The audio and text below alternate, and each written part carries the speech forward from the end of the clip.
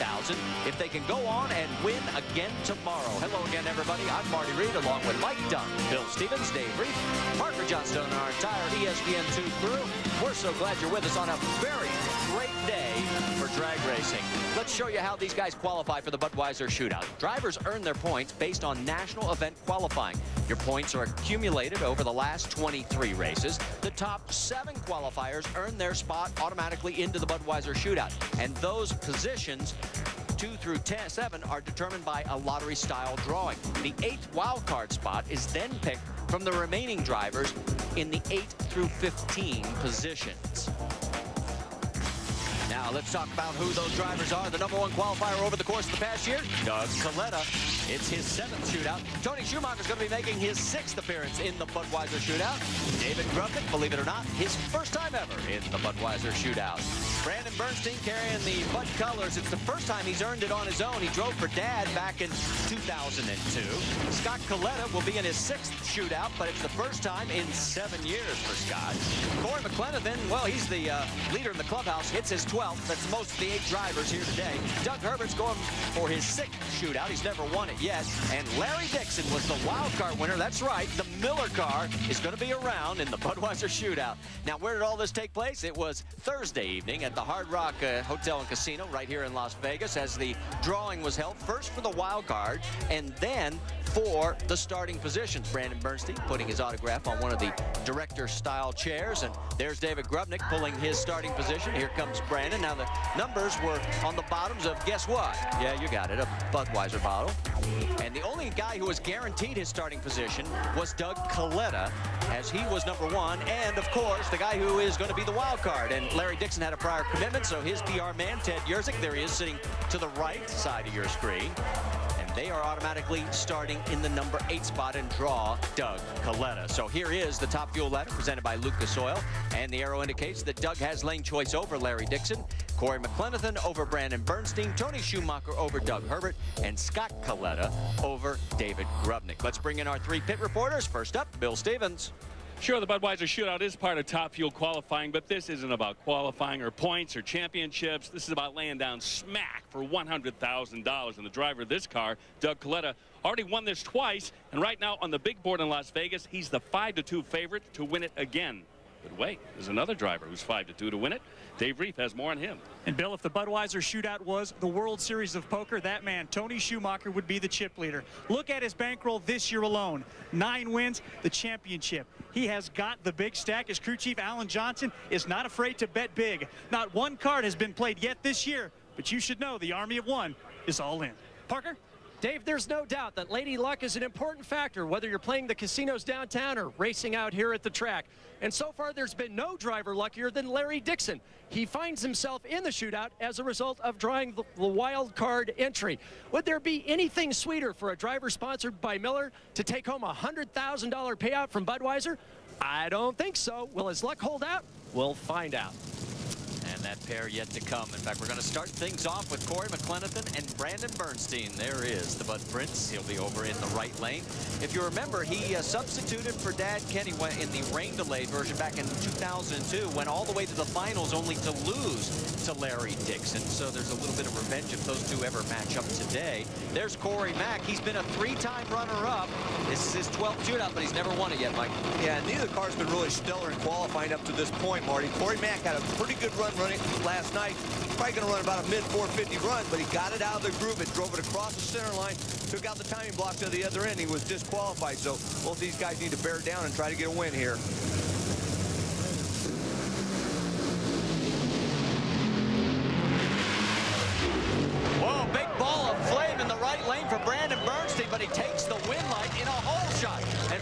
Been Brandon who's been tardy on the tree lately, but not this time. 4.57 seconds to the quicker but losing 4.56.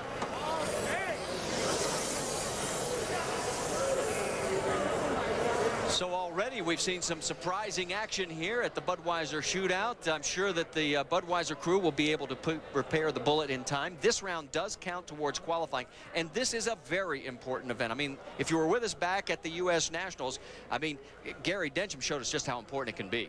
Yeah, and like Bill said in the beginning, it's all about the money. I mean, 100 grand's a lot of money to, to be able to win in one of these races. And, and if you're a guy like Tony Schumacher, I mean, he's having a career year. He's already shown up the Powerade Championship. He would really like to be able to win this race and be able to double up because he would do two things. Not only would he win the Budweiser shootout, but then he would set the single season mark for the most wins. Two things he would like to really cap off a basically a career year. Well, let's go back and take another look at this run because uh, we have talked about so much lately how Brandon has been just dead late on the but not this time. Yeah, he definitely did his job. Had a good light off the starting line. 076, basically 25 thousandths of a second. He left ahead of Corey McClenathan, and he needed that because both cars, although they made a good run, Corey McClenathan ran slightly quicker. Remember, the times are, are timed in each individual lane. As a result, Brandon Bernstein got to the finish line just slightly ahead of Corey Mack. And Bill, this has got to be a big confidence builder for him. And he could really use it the way that the cars have been running since Topeka. Brandon Bernstein, you've been winless, but on a hole shot, you took out Corey Mack. Wow. You know, that's amazing. That really is. Um, you know, I've been struggling as a driver, as a lot of us know, but, um, you know, to come out here, this Budweiser Lucas Oil team's doing a great job. And, um, you know, we just got to we just got to go around and, uh, and get, get this next two and, then take home that Budweiser money. That's what we're here for. That happened today. This kid will be happier than he is now.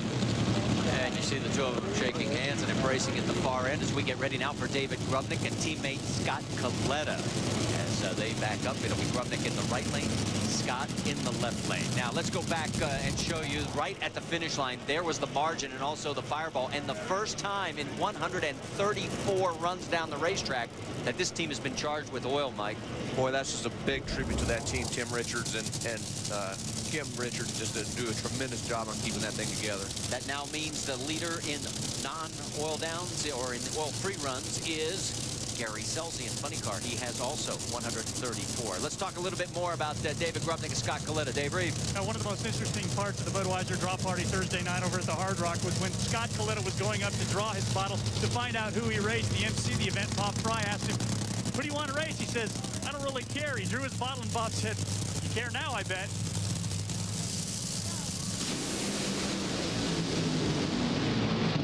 Tire smoking affair. And David Grubnic takes the win in an ugly but effective 4.91 second elapsed time. 295 miles an hour. And you saw Scott almost at the hit of the throttle as it went into severe tire smoke. This was a big surprise, Marty, because both of these cars made two very good runs yesterday. Uh, but obviously, we're looking at different track conditions. But this track's usually pretty forgiving, except on the starting line where we saw Scott Kalitta have some problems. Let's go back and take a look at Scott in super slow-mo. You see the car launch, and then uh, right here is going to shake the tires a little bit, and then go into the tire smoke, and pretty much ends his day as far as the Budweiser shootout goes. So the next pair comes to life down on the starting line as we get ready for Tony Schumacher and Doug Herbert. There is Doug Zilla. He'll be over in the right lane. Tony be in the left lane. Let's check into the far end with Bill. He's with David Grubnic. Yeah, Dave just about out of his helmet. Hey, Dave, um, how does it feel being in this seat instead of the grandstands for the Budweiser shootout? Well, I mean, uh, great, really. No, fantastic. Couldn't be happier for my team. You know, these, these very fast hot rods. Uh, we'll just keep going, man. I just want to go all day. I'd love to win this. He could be a popular winner. Well, and I'm wondering if we get that far, if it would make up for a lot of the disappointments that he's had this year, all the trips he's been to the finals without picking up his first quality. Yeah, a $100,000 will go a long ways to helping that out, trust me. A lot of salve for the wound. All right, let's talk more about Tony Schumacher and Doug Herbert. You know, Tony has won just about everything. I mean, three straight U.S. Nationals, four overall. Uh, he's got his second Powerade championship this year, but this is the only thing missing from his resume. And he's got a tough matchup in Doug Herbert. Now, Doug Herbert has a very good car. I mean, he beat him in the final round in Chicago a few races ago, ran that four, great 451 in the final just to edge out Tony. Now, at the beginning of the year, I would say, uh, you know, Schumacher's got a pretty good advantage over Doug, but at this point of the, of the season, this car has really come around. Crew chief Ed McCulloch has done a great job, but that man right there, Alan Johnson, he just seems in the last few races, he just keeps getting better and better run after run. And obviously, I got to raise a slight edge for Schumacher here, but you know, it's this drag racing. Anything can happen. Be with us tomorrow uh, for our three-hour coverage of final eliminations because Tony is going to be mic'd up all day for our crew chatter. Should be very interesting. Great crowd on hand today.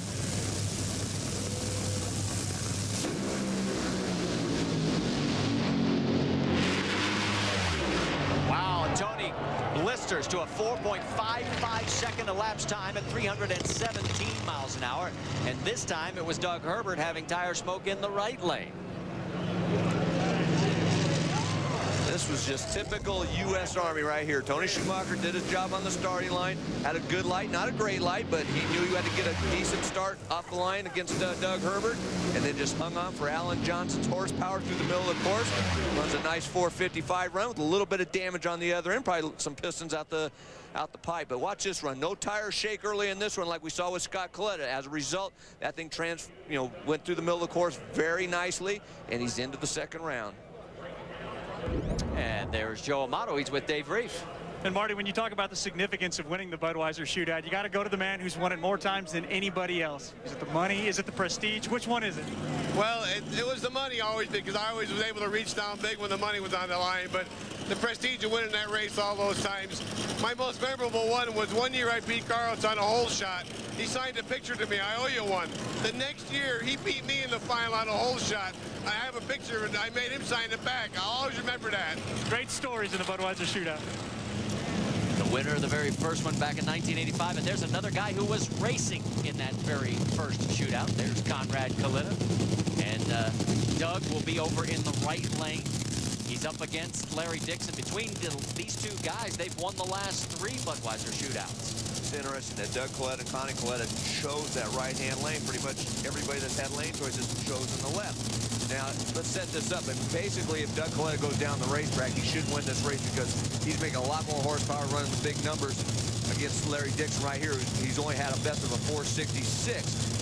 Crew Chief Dick LaHaye, he's going to tune this thing up just to go down the racetrack. And if Doug makes a mistake, you know, they're going to go into the next round. But right now, power-wise, you got to rate the edge to Doug and Connie. And remember this great final we had last year, 447 side by side. Kalitta over Schumacher in the final. Will we see another one today? Who knows? There's the mistake. And the Miller Lite car going on with a great 4.56 second elapsed time, the best they have run all weekend. This run does count towards qualifying for tomorrow's event, so that is going to move them up to the number five spot for tomorrow's race. Let's uh, check in with Bill. Well, I guess the Army's not done yet this year, are they? Still marching on, you know. Uh, we got a big goal here. We'd like to win this money, $100,000 from Budweiser. Uh, won a lot of races this year, but this is one I've never won. And uh, Budweiser puts up $100,000. It's our mission to try to take that away today. Step one. Let's talk about the matchups because this is going to be very interesting. Take a look at this. The beer wagons are going to go head to head. And remember, we told you it was Brandon losing to Larry the last time these guys met in the Budweiser shootout final. And the lane choice to Larry Dixon. Talk about pressure, it's right there. And there is lane choice also to Tony Schumacher, to the only remaining Kalitta team member, David Grubnic. We'll be back with the semifinals here at the Strip at Las Vegas Motor Speedway. Stay with us.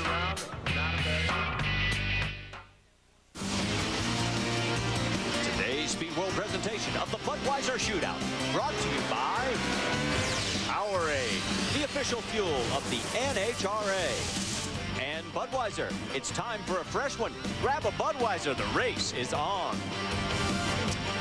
And as you look down on New York, New York, we'll remind you that uh, later tonight we'll have another hour and a half of qualifying here at the AC Delco Nationals at the Strip Las Vegas Motor Speedway. 10:30 Eastern, 7:30 Pacific on ESPN2. For more, log on to ESPN.com. Take a look at our uh, top fuel butt shootout ladder presented by Lucas Oil. You'll see that Larry Dixon has the lane choice over Brandon Bernstein, the battle of the beer wagons. That's going to be what we're going to focus on first. Then it'll be Tony Schumacher and David Grubnic with Tony having lane choice there. Uh, you cannot overstate how important it is to these two drivers. They do not want to lose to the other beer wagon, especially when $100,000 worth of Budweiser money is at stake. Well, let's put it this way, Marty. The pressure for these drivers is probably like having the final round of Indy with the Powerade Championship on the line. That's how much it means to both of these drivers.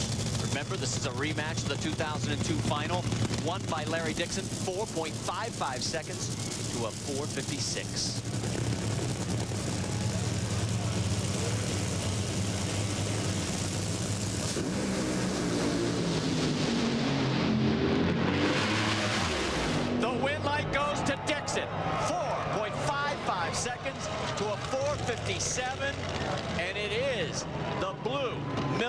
Car heading into the final. And not the Budweiser beer wagon. You know, Larry Dixon and this team thought they were just totally out of this Budweiser shootout because they got in on the wild card. Boy, it's their lucky day. I'll tell you, when they picked that number, and Dick LaHaye put a great tune-up on this race car, very consistent. Now, let's give credit here to Tim Richards, Brandon Bernstein. He had another good light. Larry Dixon was slightly ahead of him off the start line, but for all intents and purposes, they left dead, dead even, made a good run, but unfortunately, it just wasn't good enough, and now Larry Dixon is in the final round. So that brings us to Tony Schumacher, who will be in the left lane against David Grubnic in the right lane. Neither one of these guys has ever won this thing, although uh, Schumacher, of course, we told you about how close he came against Doug Kalitta. And think about this. If you go back to Joliet, the last time these two guys went side by side, it was the quickest top fuel Powerade points race, a 447 to a 449. And you talk about frustration for that man right there, David Grubnic. That was the second quickest time in eliminations that day, and he was on the trailer in the first round. And that's because he, they raced in the first round because David did not do a good job in qualifying, and that's been the mainstay of this team. They, they can run the numbers, but they don't have the consistency, and they smoked the tires in the first round, but they got a lucky break when his teammate Scott Kalitta smoked the tires to the hit of the throttle, thus allowing them to come up against this team right there. Don Schumacher's team, I mean, what can you say? They look awfully good right now, but they cannot count out David Grubnic because if he can get this thing hooked up, he'll definitely give them a race.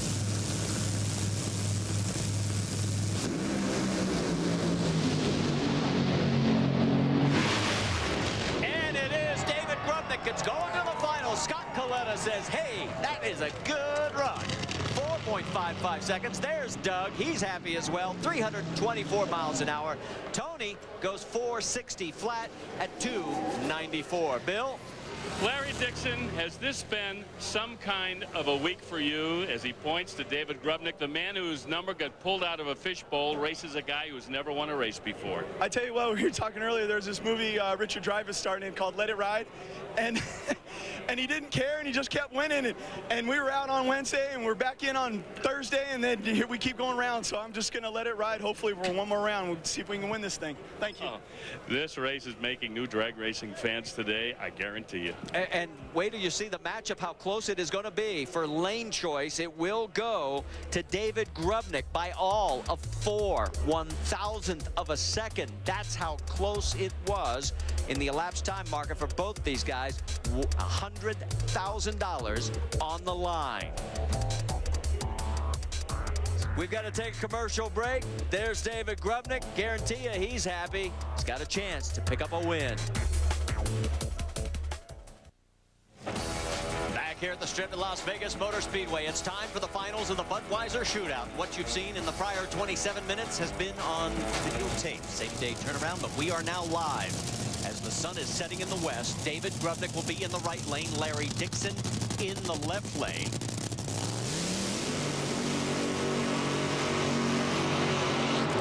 And $100,000 to the winner.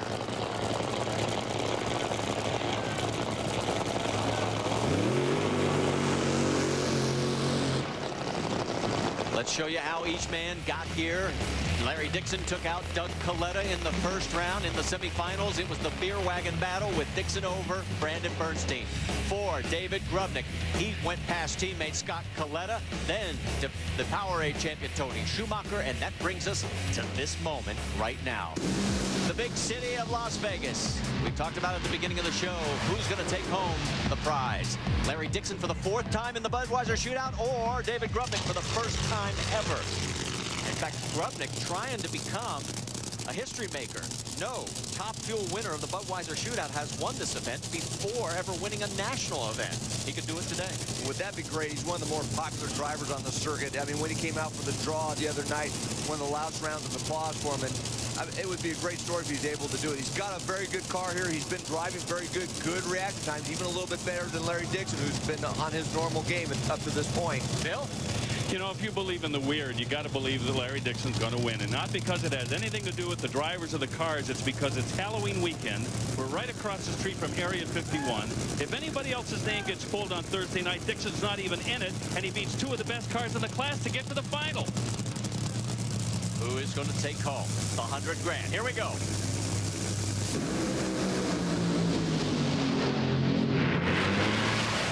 David Grubnic has done it, and he does it in style. 4.50 seconds, 328 miles an hour, and Aussie Dave is going to taste the champagne and 100 grand. Parker. You can see the celebration down here. Connie, in just over 13 seconds today, you've made over 100 grand. David Grubnic, his first Budweiser shootout. Congratulations. Yeah, thank you very much. That's a, makes a nice day. I would say. Now I can go Yes. gamble tonight. I got a little luck. yes, you do. Dave, right here, man. Well, we're not going to go gamble. We're going to talk to Dave when we come back. We've got to take commercial break. Stay with us. We're at the finals of the Budweiser Shootout.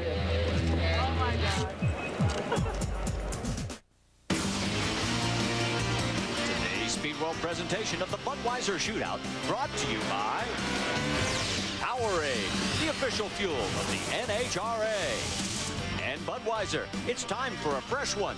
Grab a Budweiser, the race is on.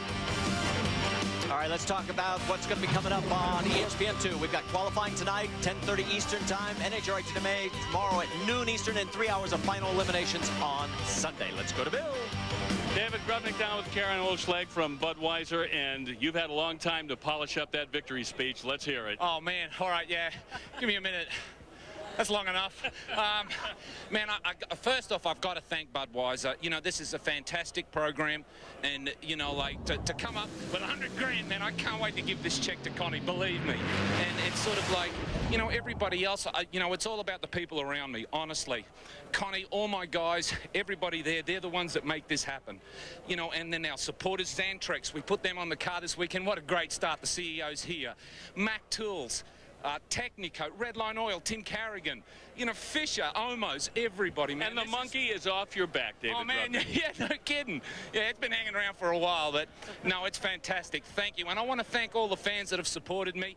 I've got a bunch of them out there that keep coming by and cheering. I'm telling you, we're gonna have a party tonight. Thank you. Uh, another great story from this season. It absolutely was, and boy, you're right. So many people have wanted to see this guy win. Let's take another look. Nice tune up. The car was a little soft early, but boy, in the middle of the racetrack, that thing made a turn. 278 miles an hour at the eighth mile, the fastest eighth mile speed up to this point this weekend, and he never looked back for the win. That's going to do it for us. Glad you're with us here for the Budweiser Shootout. For Mike Dunn, Bill Stevens, Dave Rieff, Parker Johnstone. Coming up next, we got college football, Miami versus North Carolina. This is Marty Reid. We'll see you tonight at 10:30. This has been a presentation of ESPN, the worldwide leader in sports. For more, log on to E ESPN.com. Congratulations, David Grubnic, and we'll see you at 10:30 Eastern. So long, everybody.